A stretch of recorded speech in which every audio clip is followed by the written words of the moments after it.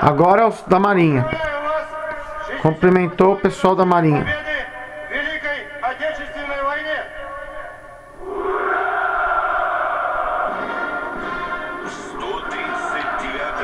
Cumprimentou os soldados da, do Exército e agora da Marinha.